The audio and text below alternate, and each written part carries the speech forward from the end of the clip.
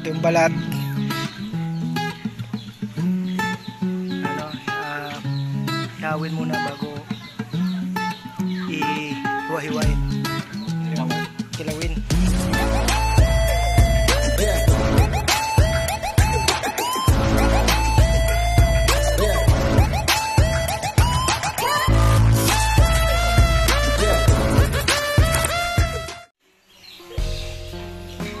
Iba, ginagamitan ng suplete.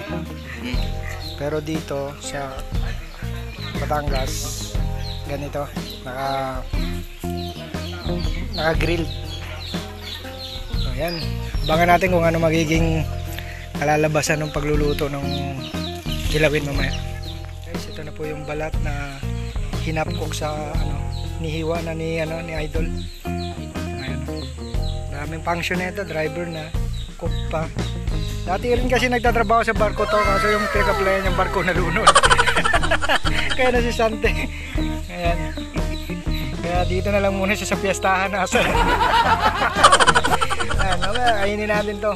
Ito yung ano, south style naman ng ano kasi nung nakaraan sa ano tayo sa north style naman ng pagluluto ng kilawing kambing.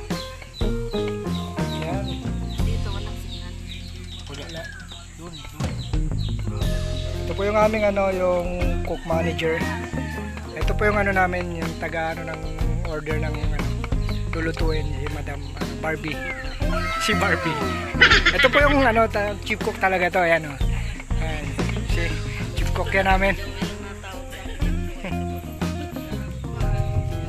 Ayan, ito pa isa ano, assistant. Assistant cook. Yung mga singer doon, nandun na, naka-ready na. So hanggang matapos yung pagkain.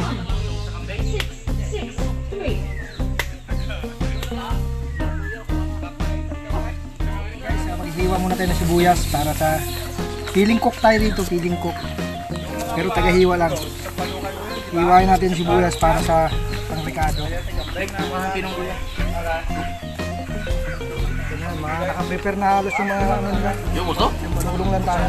Di, huwag mong ubusin. Ganyan. Wala. Isa lang. Feeling ko parang makunat pa yata yung ano, balat ha. Mahirap na hirap silang hiwain to. Baka kulang pa sa luto to. Pero sa bagay kasi nga kilawin, kaya kailangan hilaw. Kailangan hilaw talaga. Ito yung pampaasim natin dito, yung kalamansi. Ipigaan ng kalamansi ito para naman magkaroon ng ano, ng asim yung mga ano, mga karne.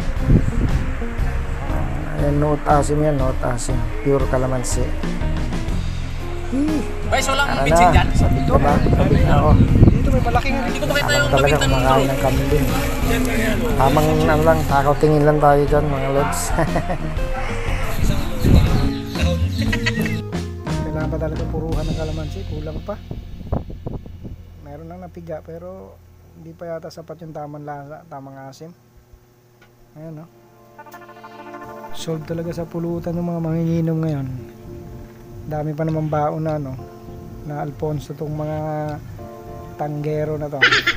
Ayan, pinoproseso pa. Matuloy pa rin nilalagyan ng mga ricado yung aming kilawing kambing. Ayan, mekos-mekos na ni Kuya. Ni Kuya Kok. Ay kasi nga, sa amin nakatuwa na i, ano, i-prepare yung mga kilawin na yan. Ayan, mekos-mekos na ni Kuya. Sarap yan.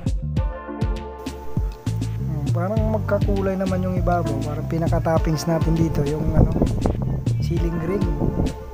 Para maging mabango tsaka ano, colorful. Tama ba sir? Tama ba Mr. Cook? Ni, huwag mong haluan yung taba ah. Hindi pa finish sir cook yung trabaho mo pero parang tumutulo na yung laway ko ah.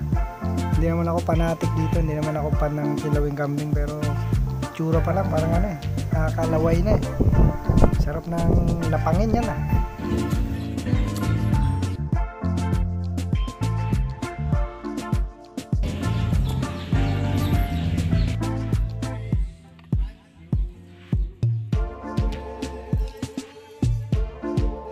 Bang, bang, bang. Yan, mas, mas maraming bitchin. Mga ano lang, mga 212 lang. Tapos 1,000 na paminta. Ayun oh. Ha?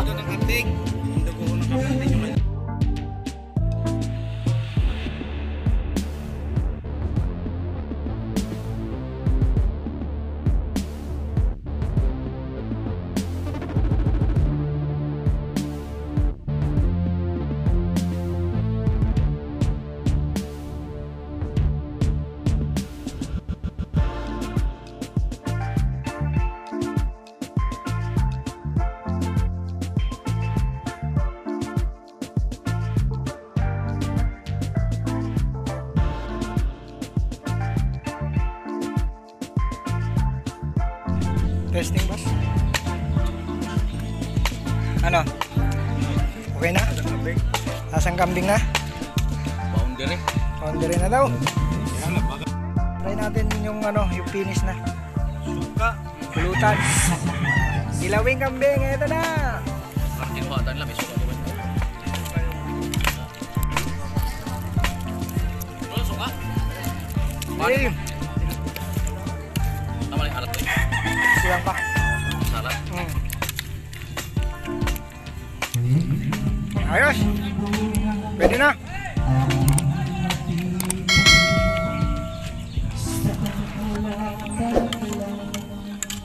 Ayan.